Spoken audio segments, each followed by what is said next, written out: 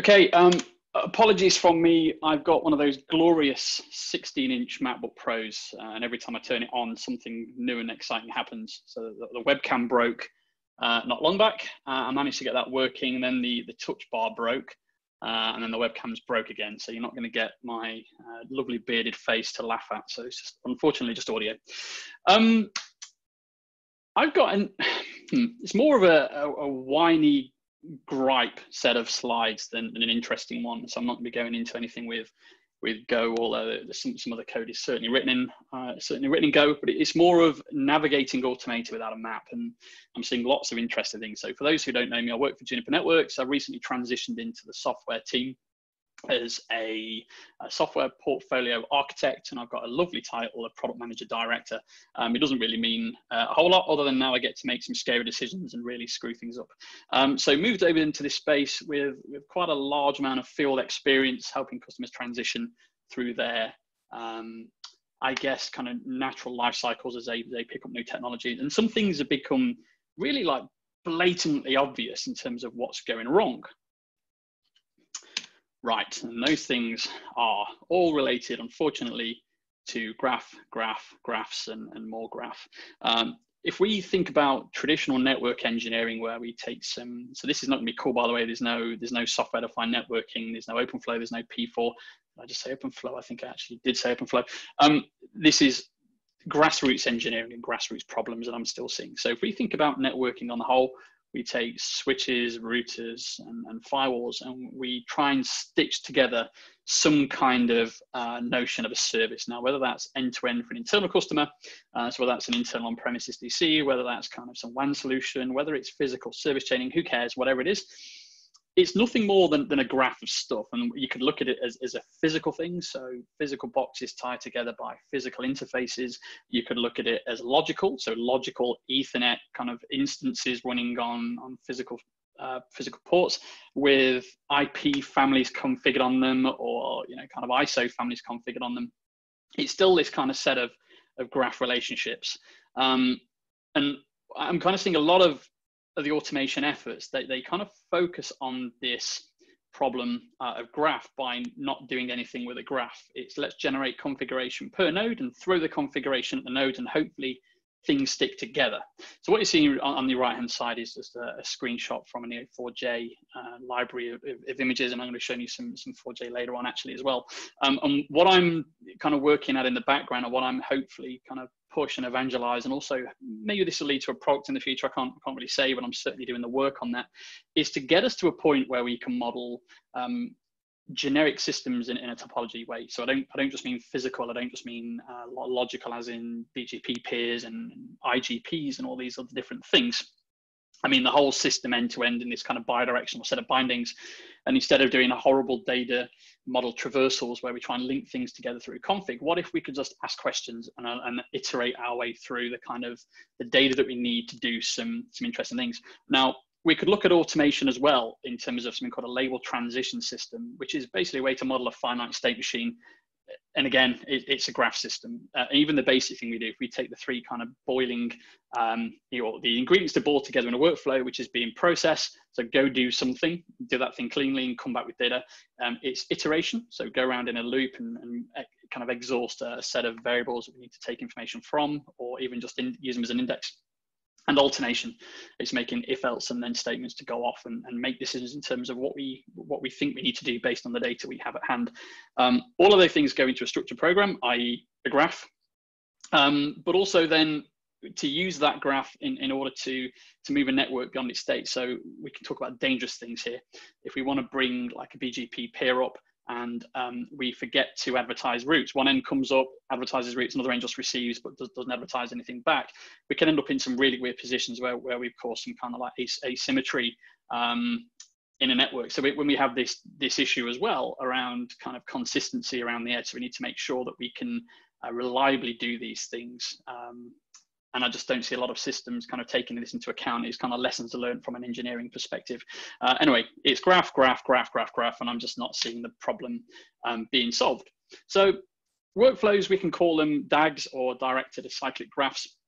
they have a start point, they have an end point. They generally flow flow top down if you're thinking about them from a from a design point of view, and, and they're designed to ultimately move one or more systems through a number of different state transitions to get to a uh, just a moment in time desired state. And I don't want to say an end state because networking is never in an end state. It might be in an end state for an hour, for a day, for a week, but the end state until the, either the business is um, destroyed by a meteorite, it's sold, or, or, whatever. I don't think that there's an ever an end state that these these systems go into.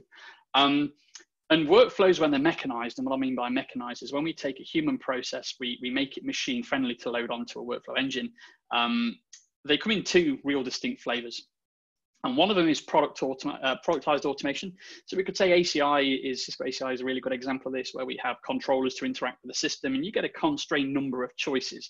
So this is opinionated and kind of productized automation. And then we also have um, Contrail, uh, and Contrail gives you a set of uh, opinions as well to do um, or to carry out your desire but ultimately on Junos devices. So we actually have a box that a human can interact with, and we're trying to push that thing into a, into a known number of states. Um, but then we have the, the kind of generic workflow engine concepts.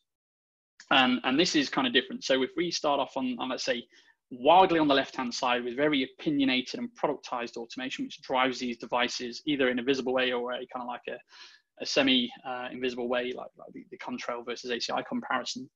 Um, and then we go, we flick over to the right hand side where we have this kind of generic workflow engine. One requires that you consume and use, and the other side requires that you have the ability to create these workflows and understand what the hell it is that you're trying to do. And, and the end to end, the design thinking approach, you know, like we, we talk about blast radius a lot in network automation. So we could say blast radius of one. Um, we could say, well, from the DevOps world, we're going to go off and re- rebuild a web server, get it into a known state, and insert it into a pool for load balancing. Um, great. So we have a blast radius one. If we change some um, change some things on that server, it's probably not going to go anywhere else. With networking and our distributed kind of fabric of compute, we, we don't have that problem. We have a potential blast radius of n. We change one thing, and, and all sorts of carnage could be could let loose. And without having a model for that, we have no idea that the end state, or let's say the, the, the moment in time end state that's going to happen with these things. Um, one requires a huge amount of skill, the other one requires a huge amount of, of, consumption and frustration. We get frustrated that the, the productized aut automation products don't do everything that we want to do. It's like the snowflake problem. Um, every network has got a, a, fixed number of points, but the pattern's different in the middle. Um, and, and the middle ground here is, kind of a little bit a little bit iffy. And um, just to be legendary, my neighbour's just started on his drum kit, so apologies on that. All the windows are closed. You're still going to hear that. Um, so my frustration massively is um, we're, we're kind of like poking around in the dark with product automation, a productized automation. There might be elements of graph. So I know ACI has this whole service graph piece, but in terms of the whole system being able to query and be assured of, of the, the, manipulations that we're making, yeah, I'm not sure. Um, I know Contrail also doesn't doesn't have those things. From a generic workflow engine point of view, we can now build workflows in a very structured programming and oriented way. We can take all the stuff from, you know, from Dijkstra from like 70 years ago and still do those things today on, on a, on a well-known workflow engine. Um, I just don't see the thing in the middle, which allows us to be sure of what it is that we're doing. We're doing point in time, fixed point set of directive uh, kind of deployments to individual nodes, hoping that they go to this point where, that we can imagine, um, not that we can measure very well. Uh, so I know myself and Matt Oswalt have been and done an INOG talk before around network reliability engineering. The things that we're doing today, you know, you know I kind of I fear uh, in terms of the reliability aspect. It's all still very much hope, and I'm not seeing the industry doing a whole lot around this. Um, and to just get a bit of a measure of where we are, and this is not me knocking Ansible, by the way, or robot for that matter. I'm just trying to give you a bit of a, a bit of a ready retina, and apologise for any automation experts. This is probably the, the most boring part of the talk. Um, Ansible has helped us to do some really interesting things. We've now got the notion we can list tasks together, um, and we can also deal with things like uh, determinism uh, and indeterminism within the workflow. So with Ansible, we can start the thing off as a run to completion script with enough input variables to complete the job. So we can say that's deterministic. And then we can also go indeterministic, where we might be able to get a task that goes off and queries an external system and registers that data within the um, kind of the execution run for further use down the line. So in a in a kind of squint your eyes kind of way, we could say it's a CAS system or a complex adaptive system. But let's make um, no mistake about it. The, the kind of Ansible approach and its very limited set of language makes it very difficult to, to do some, some more complex things with. It isn't domain aware. It doesn't have any bindings to being um, a domain aware tool. It's all down to the, the skill of the human operator to build the workflows and to mechanize it and to make it suitable for what for what it is that we're trying to do. We generally hope for the best in, in these situations. Um, shortly after this kind of blind, let's consume a template, throw some variables at it, and throw it at a device, um, we had test frameworks come along. So we go, oh, well, let's reuse a robot test framework. And I know Juniper internally, it's no secret. Uh, our devs team use robot with, with thousands of keywords. So when they go off and make a Junos code change, they, they can test for that. And we can stand up BGP sessions and, and measure for the number of routes uh, that a system might generate within a lab. So robots used by, by, even quite extensively. Um, so then we have these notions of pre-checks and post-checks. So even if we stick on the Ansible theme now, we can make sure the system doesn't have the things that we're, trying to ask it to do. We can do the thing and then we can measure to make sure it's there. But even then, it's just at a management plane level. And very rarely does anybody deal with CRUD. So creating is always the first thing everybody does. Readback, mm, I don't see that a lot. Update, certainly not. And deletion, um, I don't see a lot of kind of crud thinking around this. I just simply see this as a as a C way forward, create and worry about the rest later down the line or pick it up as, as technical debt. Um, so really kind of where we are as, as an industry is we take some human readable templates. We take kind of hosts uh, information. So this is our access information in terms of how we get there, maybe what port we need to connect on, on, on what protocol, which very much relies on the Southbound plugin for the tool. We take the variables to go into the templates um, and then directives so they could be tasks within the playbook or, or, whatever, depending on the tool and obviously the parlance changes. Um, and, I've got to put the troll on here because it, it, feels like we're doing something really insane. If you stand far enough back at this and you look at it through, say, like graph theory or automata kind of theory, push down automation, all these different things, it kind of feels scary. We, we, generate all these human readable blobs of stuff and hope by, by chance that it works, that we've actually got the information from the right place. Um, it, it's kind of eerie. So we start off uh, in a in a pre-state without our desired kind of uh, directives or intent being on those devices. We might run one playbook to get the base information on there. Some devices care about ordering, some don't. Depends. Uh, it, it all kind of relies on at- atomicity and, and, this this whole transaction notion. So we might have to stand the IP address information um, on the ports first and then allow that to, to, to, self-commit, whether that's explicit or implicit, and then we can stand the BGP session upon that. And then what I was talking about earlier on about this whole um, eventual state. So if we if we want the network to be in this state, we've got a BGP session up, we've got two sets of routes being advertised and being received. Uh, that requires some coordination. And, and, unfortunately, if we move beyond tools like Ansible into product uh, productized automation, then we end up with all this fragile code and all these if else statements in terms of making sure all of these things are done in a very, very hard coded manner. Um, so we, we could break a complex task down into several stages to, to make sure things are done in the right order, things are testable, and then at the right time, maybe a maintenance window comes along, we stand up these sessions, uh, interfaces come online, both routes are exchanged, and bam, we, we, can we can kind of move on. But it just feels it feels very very blind. Uh, and what I mean by kind of I think I said model traversal earlier on. What I mean by that is we might have some schema information for the devices which might relate to a database or uh, an Excel page, an Excel page, an Excel worksheet, sorry, where we get things like port information from. And then what we end up doing is we index into different data models to kind of get the, the, the respective uh, parameters. So if we take the BGP information on the right-hand side here and we go onto the top device and um, we might blindly just configure the IP address and the interface. We might do a check and say, well, if there's no configuration here, you know what, I'm going to consume it and I'm going to put a reserve tag on or something in, in process um, tag. And then I'm going to go to the other box and do the same thing. And when I bring both interfaces up, what I'm expecting to see is the interface goes operational at, at point A and point B, but they're independent tests. There's nothing that ties it up from, from the perspective of the tool. And I, I honestly think this is kind of a bit crazy. Um, gone backwards there. So it really kind of grinds my gears on this. It, it really gets on my nerves that there's this explosion of automation and this explosion of enthusiasm uh, around automation. But I see a huge amount of shortcoming when it comes to being kind of sticky to the domain. I mean, I'm, I'm, I'm really fortunate to work for a company that allows me in front of, of so many really um, great customers, and I'm, I'm, sure I spoke to some of you in the, in the past. Um, I, I just I, I can't I can't celebrate where we are. It, it, it's, it's, kind of painful.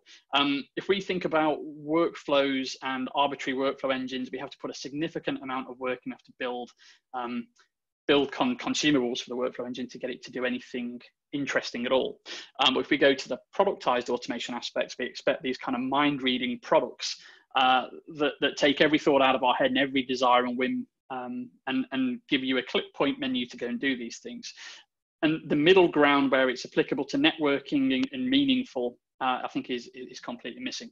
But you know what's missing? Yeah, it's a graph. I'm not going to say the swear words behind it, but we're missing a system, uh, a bidirectional set of bindings that allow us to do some, some more interesting things and be confident in terms of what we're doing. So what if we could go off to a different system and ask it for the state uh, for a set of relationships. So if I go back to my really terrible diagram here, and let's pretend on the right hand side, root this is router A. I want to know what the, the neighbor relationship is to router B. Now, this might have been done at onboarding, you know, as the device is onboarded into a system, LLDP or something might have been turned on, some neighbor discovery, and then the ports were shut down again. So this also obviously helps to do things like cable validation uh, to make sure things are connected where they think they're connected, because that's just another huge industry problem that doesn't seem to be um, massively dealt with. But if we could go to that system and ask it for things, we wouldn't have to do this kind of awful model traversal. Um, and we can remove humans one more step away from, from screwing things up. Um, so we're missing, in my kind of humble and honest opinion, a, a graph to be able to do this. Um, and every tool is heroic in its own right. And I'm, I'm not going to bash any of the tools. Every tool will help us to take steps forward. But one of the huge steps forward that I'm that I'd love to take, it just isn't here, and I end up kind of recreating the wheel every every single time. Um, but it's in, in its own kind of snowflake way. Every tool tries to usurp every other tool, and whether it's um, a kind of commercial uh, or love for open source, we've accidentally made them pets in our own brain. Um, you know, now they're special. We've got to do something with them. Um, but ultimately, we're trying to make DevOps still fit bottom up. So if we go back to the blast radius thing, um, and I'm going to mess around with a web server and try and put that in a pool. Um, taking some human configuration for a web server as a config, uh, bringing it up as a service, checking that I've got a, PID that's been uh, returned or a PPID, um, and even doing like a port check. Have I got a keyword I can detect on the page before I put it into the load balancer group? Great. Okay, right, go. Um, that works really well on the kind of the blast radius one situations. On the blast radius n, if we carry on going bottom up and we go to each individual device and make these kind of almost blind changes on the hope that they do what we want to do. Um, I don't think we're going to we're not going to get very far before kind of more things go wrong. And I've certainly seen a lot of failed efforts uh, around this. We have to think about our domain, which is it's not special, but we're in networking. We're not in these kind of blast radius one problems. We're in blast radius n, which requires a different set of thought. Um, I'm again going back to my employer. I'm, I'm really fortunate to, to kind of be let off the leash and have some really really great conversations. And what I see is I see devs being in a silo and I see ops being in a silo. I see dev creating, say, productized automator, if it's certainly in the case of Juniper. These, uh, these devs, they, have never gone off and operated a network. You know, shock horror, uh, surprise, surprise, that they've never gone off and, and, done this stuff. And the ops team, uh, a lot of them have never been in development, although they can write scripts, but writing scripts and software are two different things, like being mechanically sympathetic or empathic to your kind of surroundings is something that uh, a lot of devs don't necessarily do unless you're a, a very kind of skilled or domain focused one. Um, and an ops, they don't really under, understand. Again, I'm, I'm tarring people with you know a great big brush here, so you know forgive uh, forgive me because there are the odd the odd ones that slip through. But if if we can go from the top, we have to bring these two groups together. Um, there's there's lots of kind of famous stories doing the rounds and all sorts of misunderstandings how systems work. So there's an educational piece, and I know Matt touched on this with with the whole network reliability engineering piece when we were in Ireland. Um, skills and education is still massively important. We have to understand what our device offers us or our network offers us in terms of programmability. Um, but we only really get further uh, when A, I can stop swearing about this and just kind of beating my own head against a brick wall.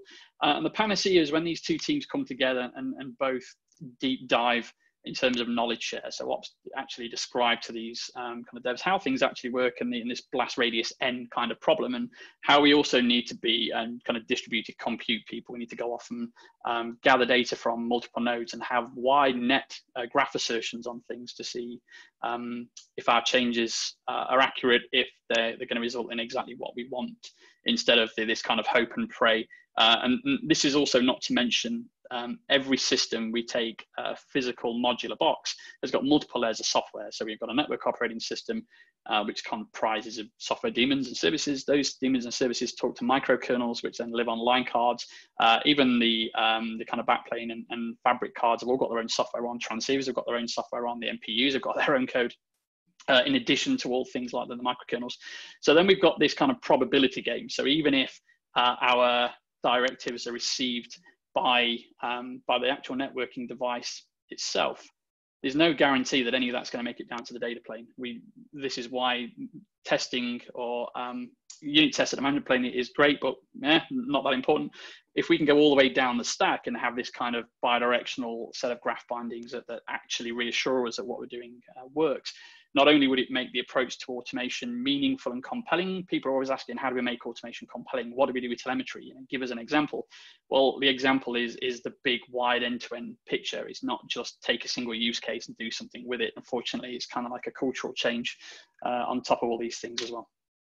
Um, and more kind of grinding gears and more swear words. Where are we as an industry? I think we're in a really pretty bad place right now.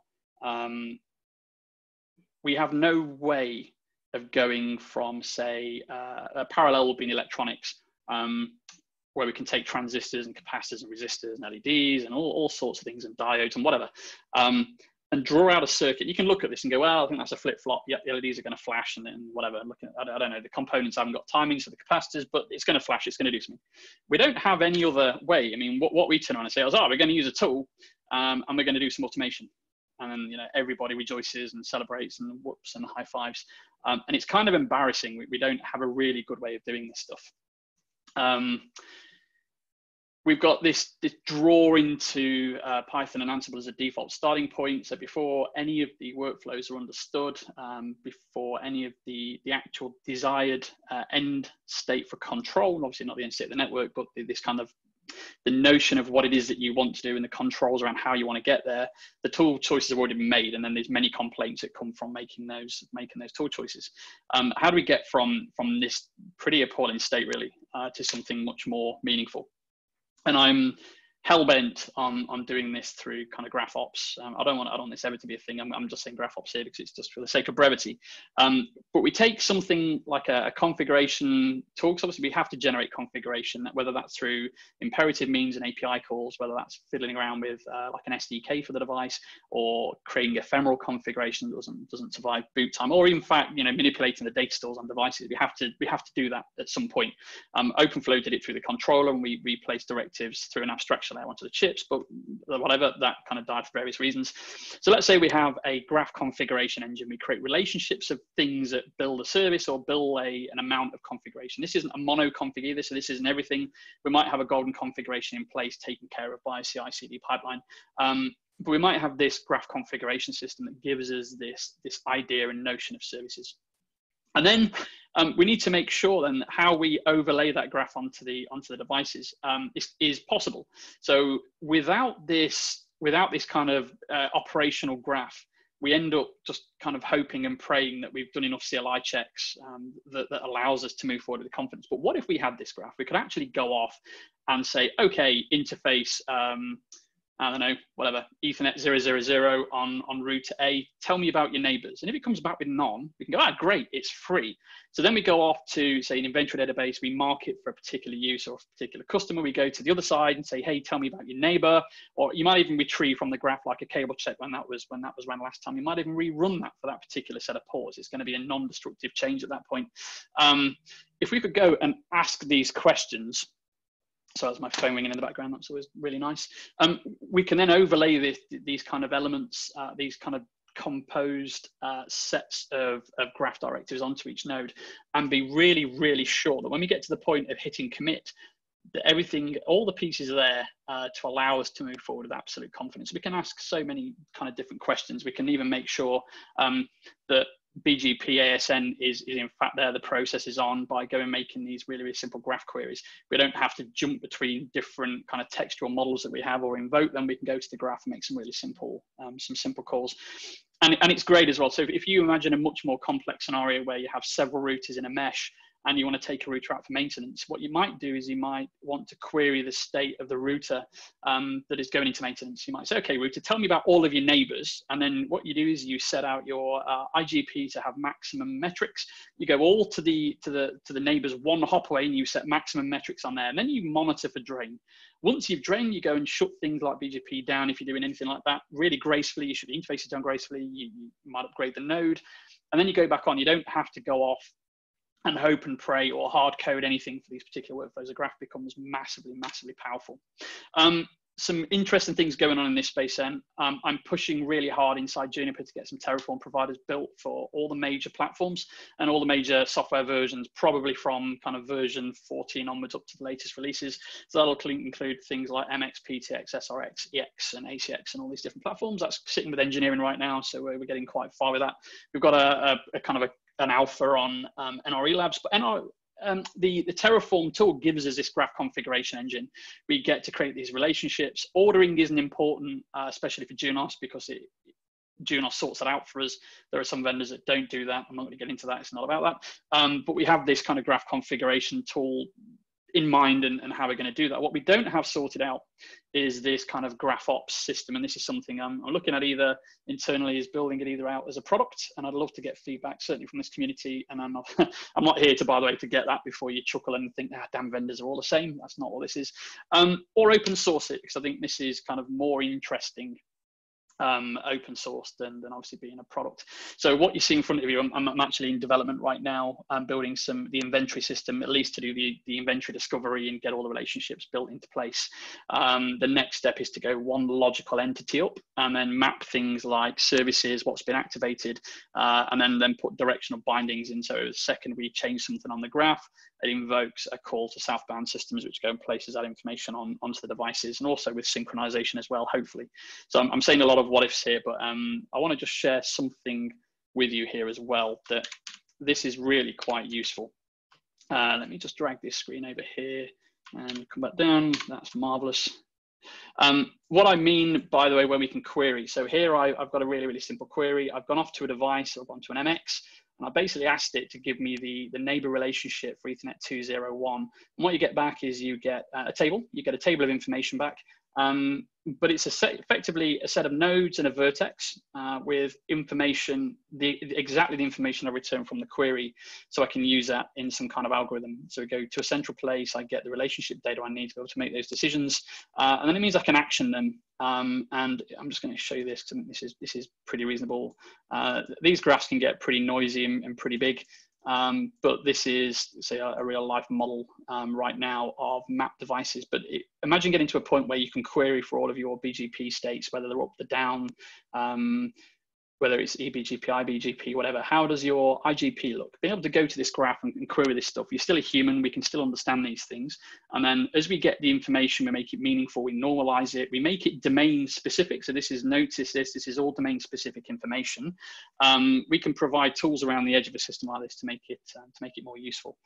Um, so that's kind of my rant. I guess that's where I am right now. I'm putting a huge amount of time and effort into this from a product management point of view, and also from a uh, kind of a, a sponsorship and, and, social aspect. I'm really keen to hear from anybody who thinks this is interesting.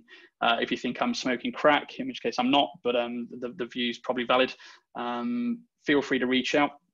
And I just want to say thanks for that, and thank you, obviously, to the organisers for inviting me along. Um, this has been the first time I've done this for any kind of a group uh, remotely through Zoom. So um, yeah, thank you.